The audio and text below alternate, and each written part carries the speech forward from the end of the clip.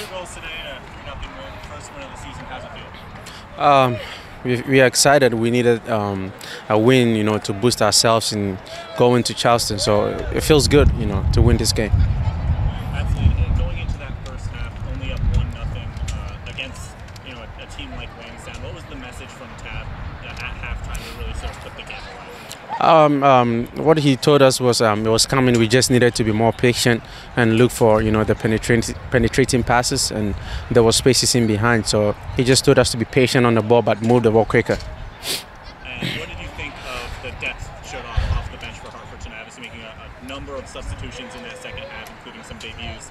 Um, how did the team off the bench? Yeah, um, we have a good squad here, like I said the other time, and I think we have a deep squad. Everybody, you know, who's on the bench, you know, can equally, you know, perform. So it was good to have a deep, you know, squad coming in to help, you know, get us a win.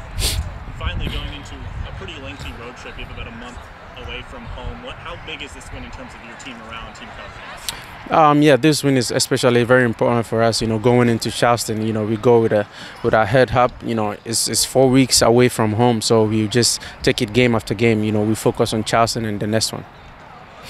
the draw doesn't come out till Thursday, but we many fans here they want to they want you guys to play New England. What kind of what would that game mean to this team?